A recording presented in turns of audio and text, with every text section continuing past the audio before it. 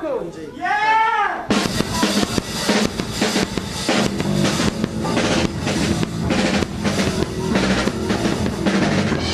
Is, uh, is Phil Stretching around? That, yes! Phil Stretching!